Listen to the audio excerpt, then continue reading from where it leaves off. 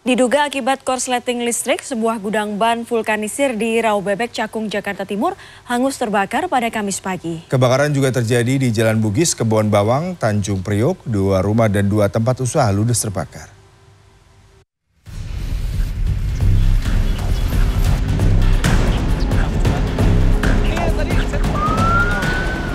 Api menghanguskan dua rumah semi permanen yang juga dijadikan sebagai tempat penampungan barang-barang rongsokan di Kampung Gaga Semanan, Kalideres, Jakarta Barat, Kamis pagi. 13 unit mobil pemadam kebakaran dan lebih dari 50 petugas diterjunkan untuk memadamkan api. Dan dibutuhkan waktu 2 jam sebelum api berhasil dijinakan. Tak ada korban jiwa dalam kebakaran ini, namun 5 sepeda motor dan sejumlah barang berharga milik warga habis terbakar.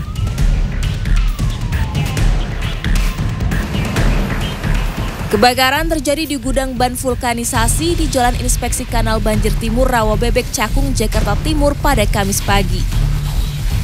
Banyaknya material yang mudah terbakar membuat api membesar hingga nyaris merambat ke kabel saluran udara tegangan ekstra tinggi. Menurut saksi mata, kebakaran berawal dari tumpukan kardus yang kemudian menyambar ban-ban bekas. 13 unit mobil pemadam kebakaran dikerahkan satu unit mobil dan sepeda motor milik penjaga gudang ludes dilalap api. Beruntung tak ada korban dalam kejadian ini.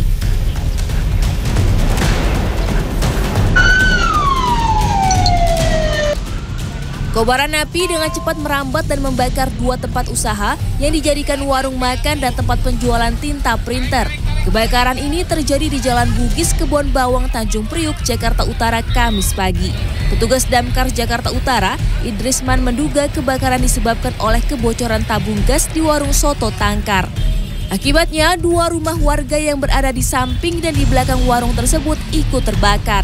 Petugas damkar sempat kesulitan lantaran sumber air yang jauh. Baru sekitar satu jam kemudian, api dapat dipadamkan dengan mengerahkan 14 unit mobil pemadam kebakaran ke lokasi. Tim Liputan CNN Indonesia